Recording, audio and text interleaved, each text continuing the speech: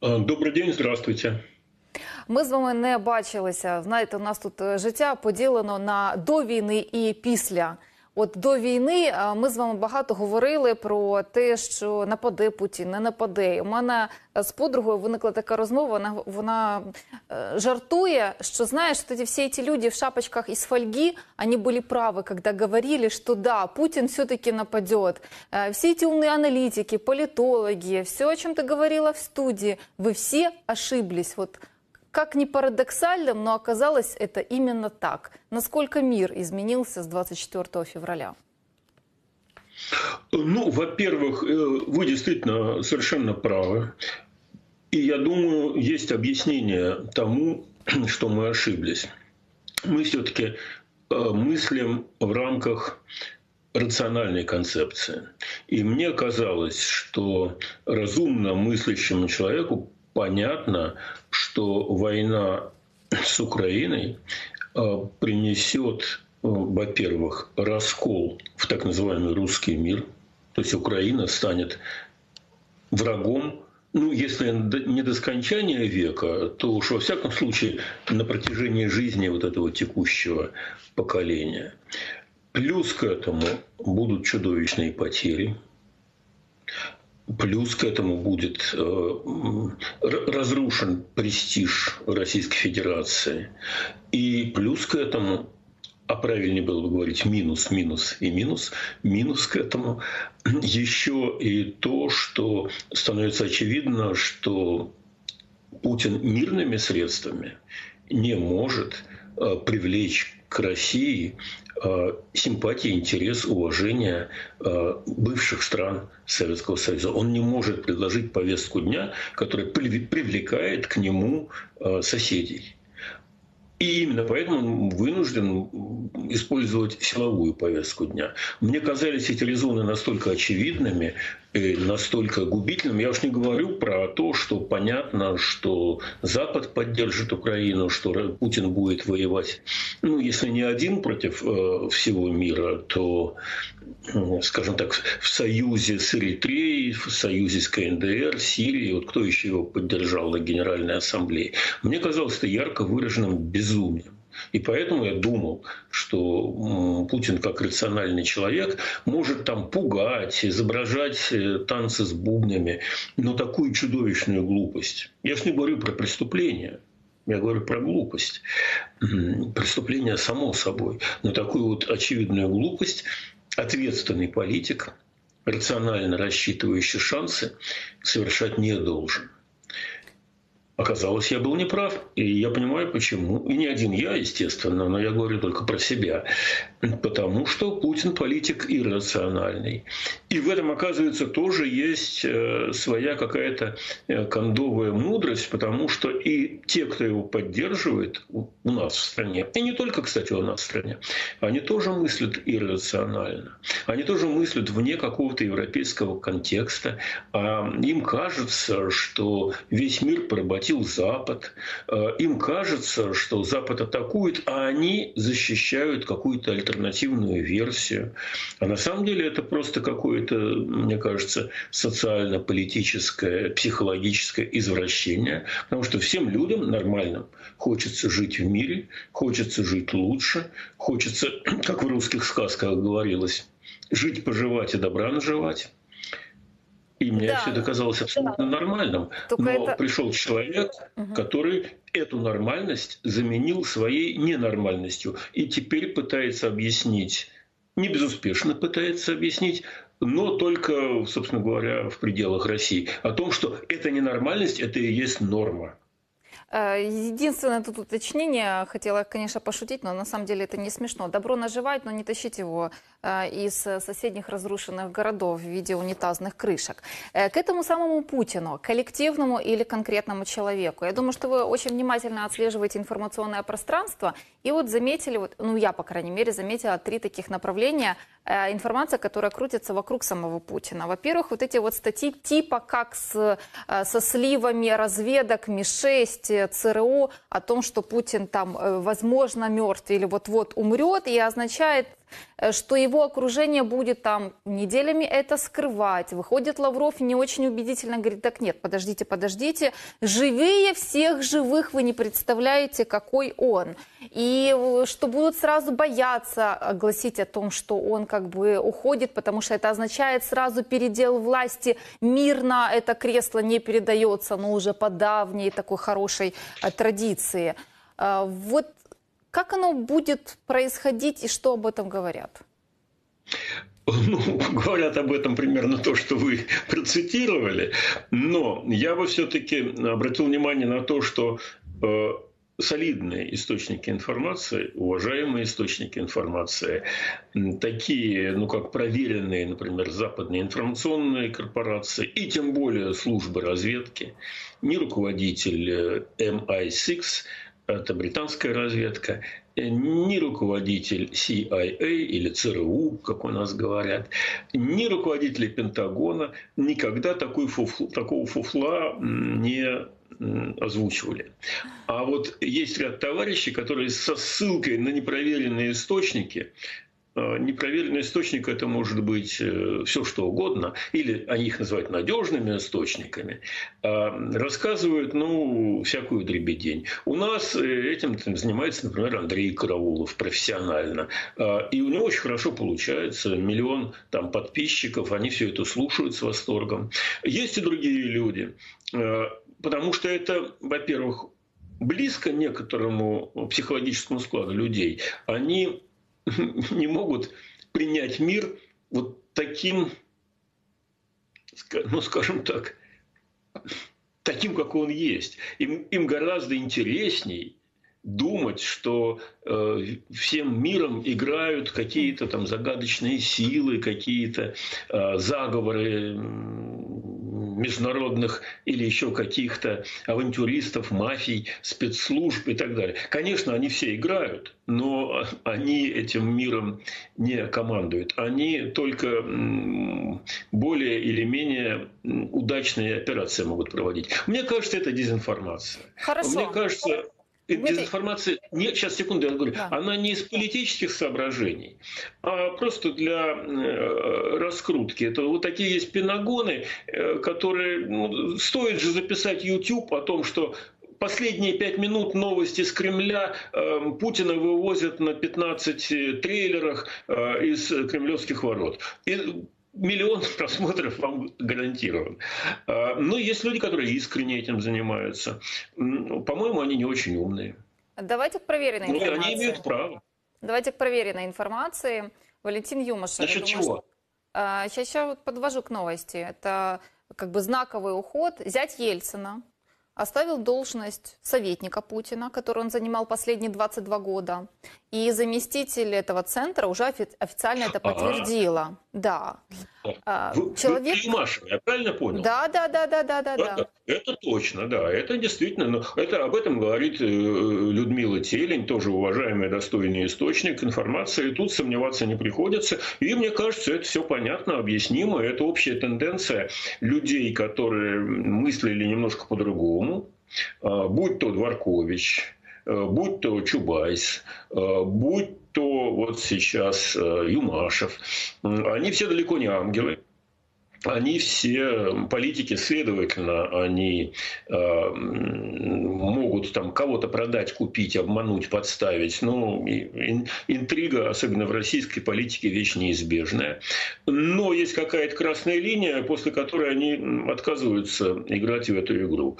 Э, и в этом смысле Путин отряхивает со своих стоп остатки того государства, которое пытался построить э, Борис Ельцин, где есть независимый парламент, который, напомню, был достаточно силен, чтобы пытаться предъявить Ельцину э, ультиматум или импичмент и почти объявил, где есть независимые суды, где есть независимая прокуратура. Опять же напомню, как э, генеральный прокурор э, Казанник э, выпу- выпустил э, участников антиельцинского заговора в соответствии с решением Государственной Думы, после этого подал в отставку и благополучно сейчас живет и здравствует где-то в Сибири. Никто его не стал сажать, карать, убивать и так далее. Это была нормальная, становящаяся с четверенек на ноги э, демократия, где выборы имели смысл где на выборах можно было проиграть, а можно было победить.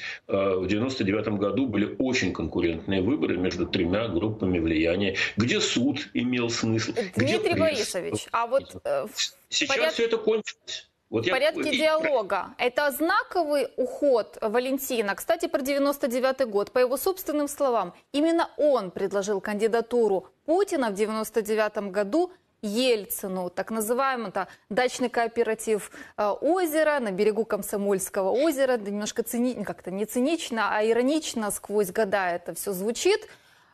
И 22 года. И тут как бы все.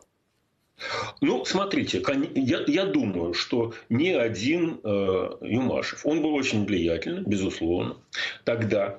Э, и действительно, и они и вместе с Березовским или порознь, э, они думали, что э, Ельцину пора меняться. И они абсолютно правильно думали, потому что Ельцин был болен, у Ельцин был непопулярен, рейтинг у него был 7%, он был уже неизбираем, абсолютно понятно всем его приближенным. И большой удачей э, того же Юмашева, того же Березовского и его команды было то, что они смогли убедить крайне властолюбивого Ельцина уйти. Э, и Ельцин понимал, что ему надо уходить, поскольку все-таки это человек немножко других качеств по сравнению с Путиным. У него было представление о том, что он служит России. Уж как умеет, служит, а не Россия служит ему. Хорошо, а Путин? А, Путин думает противоположным образом. Он считает, что он и есть Россия. И, ну, и это пришло не сразу. Надо отдать должное. Можно сейчас очень легко кидать э, там, горячей картошкой или чем угодно еще в э, память э, Бориса Ельцина, потому что он предложил Путина. Но Ельцин примеривался к разным персонажам. Был и Примаков, был и Степашин, э, был кто там еще. И он рассматривал и Кириенко, он рассматривал Бориса Немцова. Не получалось, или кого-то из них сжирало окружение. В конце концов, он остановил внимание на Владимире Путине. И очень успешно остановил, потому что это был молодой, не пьющий, спортивный, из команды Собчака, демократически ориентированный, служивший в Германии, свободно говорящий по-немецки. Э, То есть абсолютная противоположность вот этой советским геронтократам типа Константина, Константина Устиновича Черненко, которые без бумажки пары слов не могли связать. Он был молодой, симпатичный и демократичный в ту пору. Если вы прочитаете первое обращение Путина угу. к парламенту э, нулевого года, то вы удивитесь, насколько это европейский демократически мыслящий человек. Да, а... возвращаясь все-таки к 2022 году, я не хочу очень много времени тратить на экскурс истории. Да, да, Сейчас этот отход. Вот. Сейчас кого-то рассматривают как преемника, например, Путина, и возвращаясь к Валентину, его уходу. Это Нет, окруж... конечно. Нет, конечно. Э, и если кто-то вдруг будет рассматриваться как э, преемник, то вы очень скоро обнаружите его высланным из России или посаженным по какому-то уголовному обвинению. Путин не может расстаться с властью. В отличие от Ельцина, который был, опять же, э, сильным человеком, и поэтому он не трусил вот его, его обвиняют в том, что он значит, э, заботился о своей семье и так далее. А, помилуйте ради бога. Любой, любой политик, э, которому э, можно было технически предоставить власть, будь то Зюганов, будь то Жириновский, будь то Лебедь, будь то кто угодно еще, они бы пообещали Ельцину безопасность для его семьи. И немедленно бы кинули кстати говоря. А, а, поэтому надо было решиться. Вот Ельцин Но он решился, решился. хорошо. Да. А вот Путин не может решиться. Он не верит никому. Прежде всего, потому что он глубоко не уверен в себе. Он знает, что стоит им... Ельцин не испугался остаться слабым и беззащитным с тремя охранниками. То есть любой начальник ФСБ приезжает туда с взводом а, своих архаровцев или там опричников, забирает его и организует над ним расправу. Легко. Ельцин на это пошел. А Путин на это никогда не пойдет, потому что он не верит никому. Он сам э, ну, своим, же, своим же ставленникам, он знает им цену, он их глубоко и искренне презирает, я так полагаю, а, и, конечно, им не доверяет. И, в общем, без, не без оснований, потому что эта команда, э, которую он представляет, она сформирована людьми, воспитанными в культуре предательства.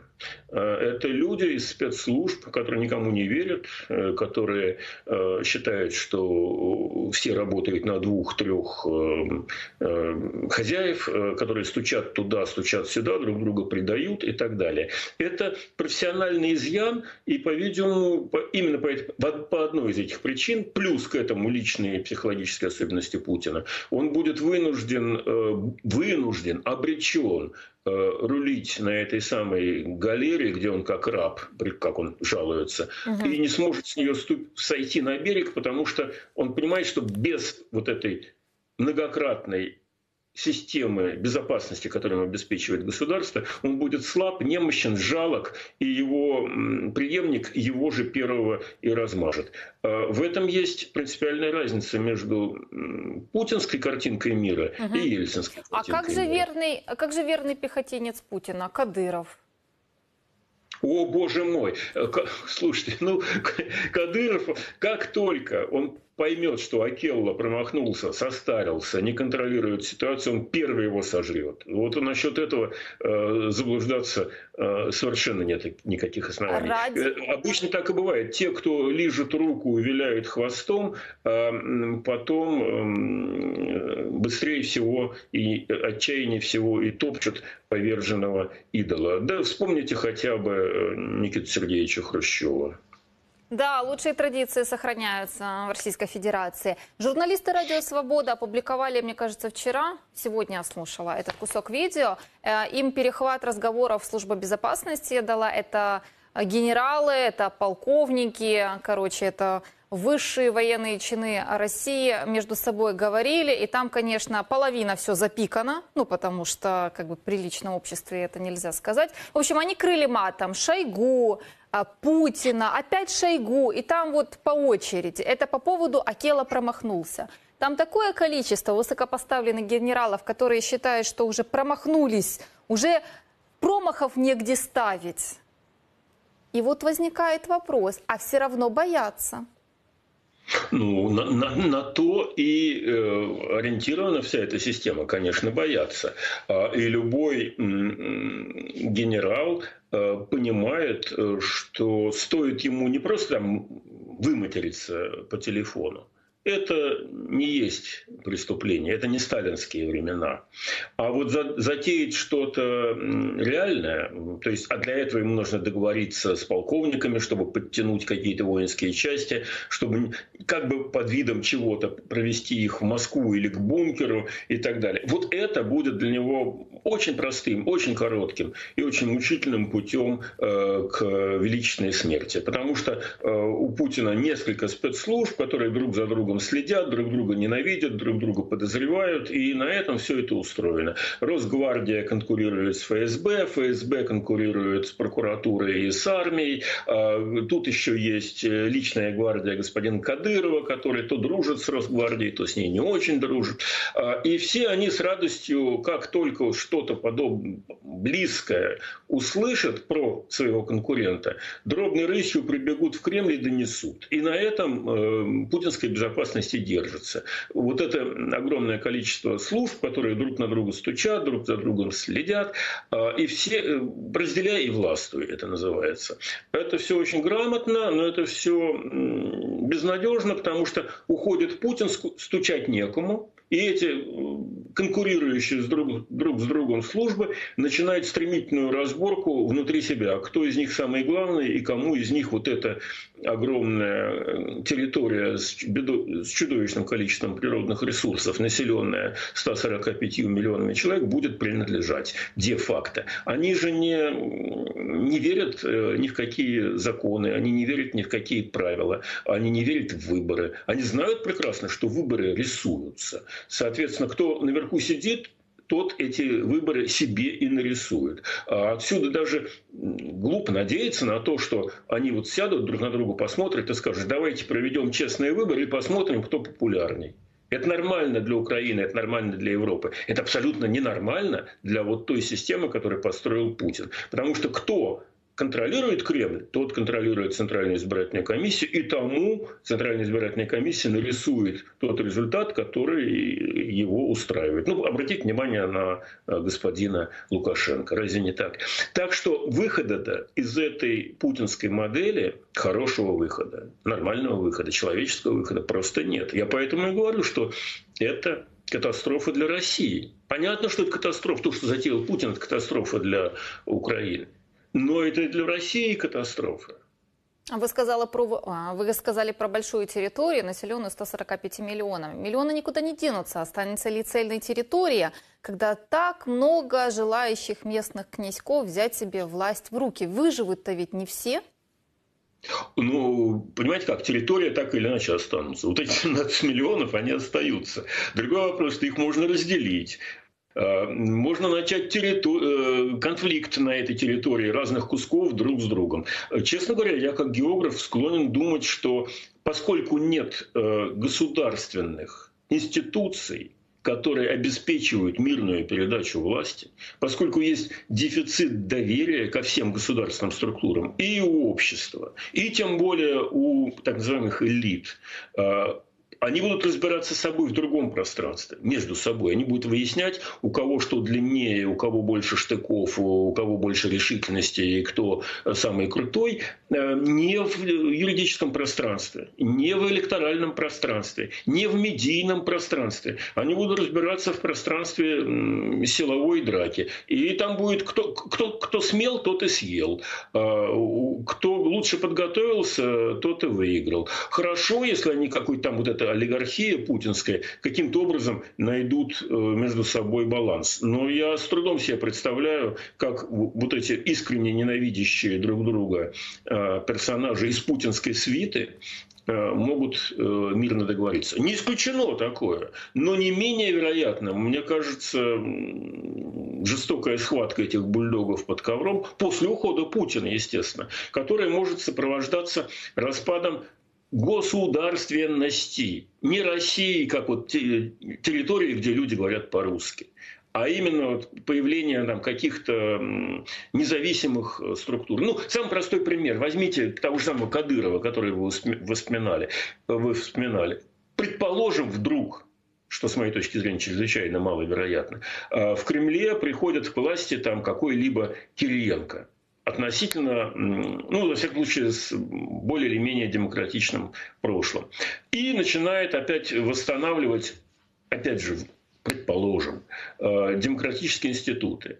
Независимый суд, независимую прессу и так далее. Что делает независимый суд или независимая прокуратура? Она задает целый ряд неприятных вопросов товарищу Кадырову. А кто убил Анну Политковскую? А куда делся Борис Немцов? А почему в него стреляли? А почему не допросили Геремеева? Надо это господину Кадырову. Меньше всего это ему надо. Соответственно, он или сделает все, чтобы в Кремле не захватили власть так называемые демократы, или, если не сможет это остановить, то он будет вынужден уходить э, в сепаратизм, организовывать свою собственную территориальную структуру, где он контролирует власть и, соответственно, отходит от России и присоединяется к кому угодно. Там, или самостоятельно живет, или, или ему придется бежать в какие-нибудь э, Арабские Эмираты. Вот чисто функционально попробуйте смоделировать позицию Кадырова после того, как уходит Путин Эм, на которого э, у Кадырова поставлено сейчас все. От, его ФСБ его сильно недолюбливают, скажем так. Любой человек из ФСБ не будет в восторге от Кадырова. А другой вопрос, что у Кадырова есть союзник в Росгвардии, господин Золотов, и, значит, соответственно, будет борьба между вот этими двумя группировками. Но для той территории, на которой это будет происходить, и для того населения, для тех хлопцев, у которых будут чубы трещать, да, когда паны дерутся, э, разница-то небольшая Вот это и будет называться там гражданской войной или территориальным расколом, или, я не знаю, какими-то еще внутренними конфликтами, называйте как угодно. Но я, я плохо себе представляю, как из той модели, которую построил Путин, можно мирным, законным, человеческим образом перейти в какую-то другую модель. Тут только вертикальная власть, и кто ее захватит, тот и прав, тот безукоризнен, тот гениален, тот победоносен и так далее. Да, и то, что закручивают гайки все больше, оптимизма как бы не добавляет. То, что Лавров сам уже признает, вышел, говорил, вот эти санкции Запада, они готовились давно, они были написаны не за ночь. Они навсегда, ну то есть или не навсегда, они надолго. То есть выходит и говорит же своим людям, санкции быстро не снимут, готовьтесь. Ну готовьтесь жить плохо или готовьтесь жить меньше, я не знаю, что он имел в виду в подтекстом. То есть настраивают уже такой на длительный процесс э, загнивания, хотела сказать, но явно не процветания. Ну, как минимум, стагнация. Ну, собственно говоря, стагнации ты нас не удивишь. Последние 10 лет как раз мы этим и занимались в России. Ну, там, э, то есть, э, такая огромная, такая богатая природными ресурсами страна показывала темпы экономического роста ниже, чем средние по миру. Э, и ниже, чем, например, Украина. Э, и отчасти поэтому, я думаю, Именно потому, что обладая такими замечательными стартовыми позициями, а, и, очевидно, не справляясь э, с тем, чтобы их эффективно использовать и предложить миру привлекательную картинку, Э, привлекательной манеру жизни, чтобы тянулись к этой модели, как сейчас там Украина тянется к европейской модели. Ну нет дураков подражать Путину, за исключением, может быть, э, там Южной Осетии, э, Абхазии и Приднестровья. А, но им нравится как раз авторитарная власть, тотальный контроль над территорией и так далее. А всем остальным путинская модель не нравится. И именно потому, что 10 лет она ничего не могла сделать, буксовала в этом самом болоте, э, у Путина не остается никаких других аргументов, кроме как навязать свою эту модель, свою эту власть под идеологическим прессингом, рассказывая про то, что он защищает русский народ, э, и под силовым прессингом, насильно присоединяя территории, которые хотят, хотят от него держаться подальше. Дмитрий Борисович. Включая русских людей, между а, прочим. А, а, вы, а вы слышали, что вот а новый президент Осетии, он говорил, приостановил референдум о так называемом присоединении или при, просто о присоединении э, в, в Россию? Россию, Российскую Федерацию. То есть даже вопрос соседей уже, как бы, знаете, это уже вопрос. Слышал, конечно. Но вы думаете, это он сам приостановил? Я думаю, что он не, не настолько самостоятельный политик, чтобы делать что-то вообще самостоятельно. Ему из Кремля позвонили и сказали, слушай, сейчас не до тебя война. А, если ты вступаешь э, в эту территорию, то, естественно, на тебя пойдут там еще дополнительные какие-то бюджетные траты. Подожди немножко не спеши. И он, ну да, значит, он охотно, и может неохотно, эту команду принимает и ее выполняет. Э, когда нужно будет, его позовут. Когда не нужно, скажут, подожди в передней. Э, это так политическая модель, это как раз и устроено. Куда он денется? У него ресурсов своих нет, экономики нет, страна, э, мягко говоря, в раздрае. И тоже, кстати говоря, ведь райский край, да, море, горы, ну, живи и радуйся. Нет, э, бандитская зона, где друг друга убивают, где нет никакой экономики, нет ничего самостоятельного. Живут только за счет э, тех подачек, которые им из Кремля дают. Ну, Кремлю это нравится. Видимо, это нравится избирателям путинским. Ну, слава богу, Абхазия недорого стоит.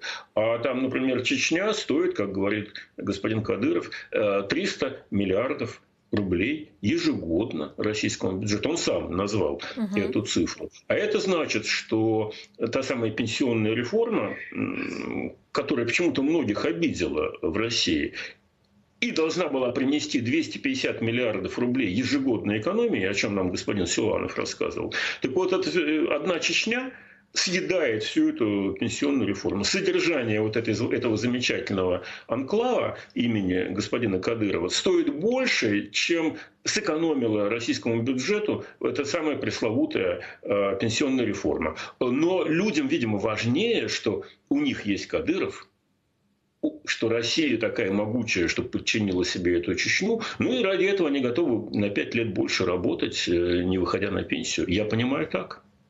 Да, ну тут еще вопрос, кто во Второй Чеченской победил. Россия ли таки? Ну, дань платит Россия, естественно. Но это то, что называется материальная составляющая. А есть же еще идеологическая. А идеологическая люди думают, что мы победили. Хотя на самом деле у Кадырова полномочий, э, ну, мне кажется, в несколько раз больше, чем те, тех э, полномочий, за которые пытался бороться, и того суверенитета, за который пытался бороться Масхадов или Дудаев. Во всяком случае, они не собирались mm-hmm. строить никакую там шариатскую республику. Они хотели строить по, по европейскому образцу э, даже не независимую, а автономную mm-hmm. республику со, со своими какими-то правами. И, ну, вот опять же, Ельцин, когда уходил от власти, нашел себе мужество сказать, что чеченская война – это была моя главная политическая ошибка. Я не знаю, соглашаетесь вы с этим, не соглашаетесь, но он, он это признал. А для Зал... Путина а чеченская война Путин... была началом да. Э, карьеры. Да. И, но при этом, я хочу довести эту мысль так, до конца, секундочку, прошу. извините. Виртуально он победил, и люди говорят, да, мы их нагнули. А на самом деле они платят э, за то, что эта территория присоединилась, и за то, что господин Кадыров бороду отпустил до пупка. И у него все хорошо, включая Ламборгини, личный зверинец, э, дворцы и жилье где-то там в Эмиратах. Все а... у него хорошо, и все это оплачено российскими пенсионерами. Залишилося Путін. Гордятся... Залишило, що Путін пішов кудись в тюрму або в у відставку зі словами, що Україна це його була головною головною помилкою. Дмитрий Борисович, ми вам ми вас благодарим і відпускаємо. Ну, время ж. Спасибо да, вам большое. Спасибо, извините, если я слишком долго говорил, но уж что делать. Та разговор у нас так затягується. Дмитрій Орешкін, політолог, був з нами. Але ми запрошуємо до розмови Костянтин Немічев, командир.